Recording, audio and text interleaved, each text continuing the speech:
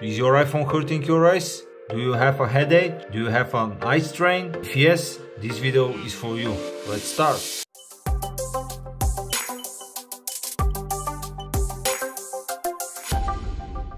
Hello everyone, it's Miros. If you own an iPhone and you have a problems with your screen, it's hurting your eyes, you have a headache, then sorry, you are out of luck. You are like me and we are one of the few and we have a sensitive eyes to PWM which means pulse width modulation and this is came with AMOLED screens. From iPhone 10 and above, Apple are start using AMOLED screens in their phones and the problem is getting bigger with iPhone 12 because the screen is much brighter and that means it will hurt your eyes more.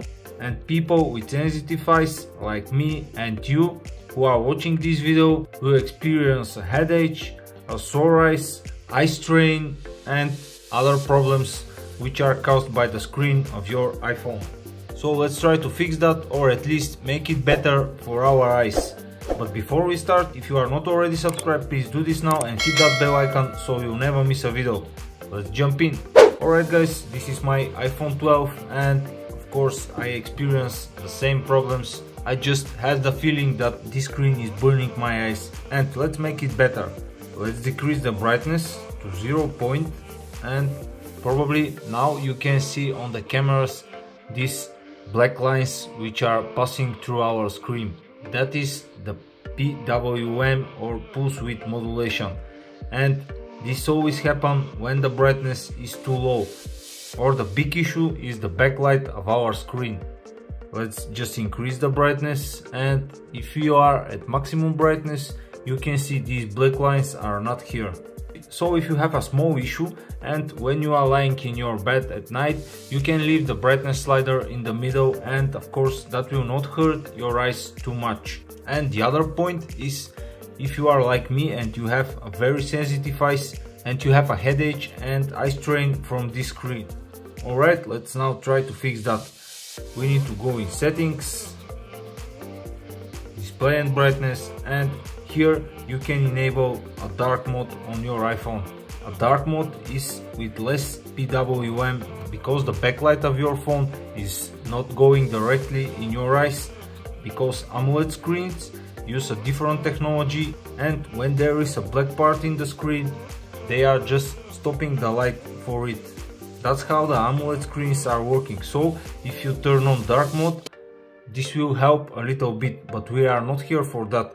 So until we are in settings and we already enable dark mode let's go to accessibility display and text size scroll down a little bit and here you will find the option that we need. Reduce white point.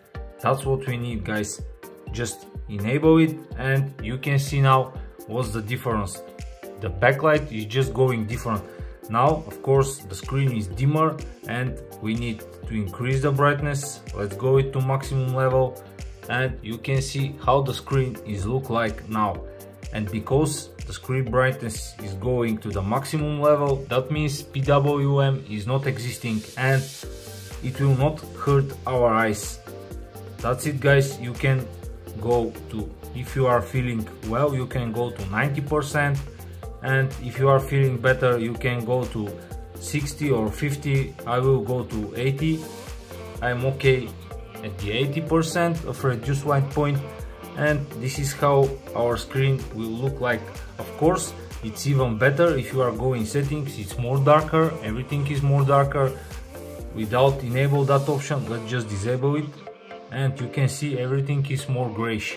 But if we enable it it will go black and more darker and it's even more beautiful. And the other point is if you are somewhere out at the sunlight and your screen is very dimmer and you can see a lot in it even with brightness slider to the maximum.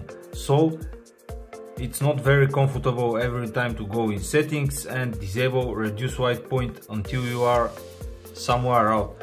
So let's just make a quick toggle in notification center to enable and disable this let's go back open settings control center and here you need to add accessibility shortcut. Just tap the plus sign and now it's here. Let's swipe it down and you can see we have an accessibility shortcut here. If we tap it it will ask you open settings to enable accessibility shortcuts. Just tap here it will open settings and here you can just tap on reduce white point when it's enabled now we can go to our home screen. We are out at sunlight.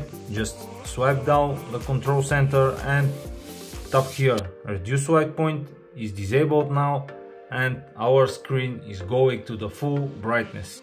When you are indoor and of course your screen is start hurting your eyes just swipe down for control center and tap here on accessibility shortcut enable reduce white point and now you will start feeling better and of course your eyes will thank you.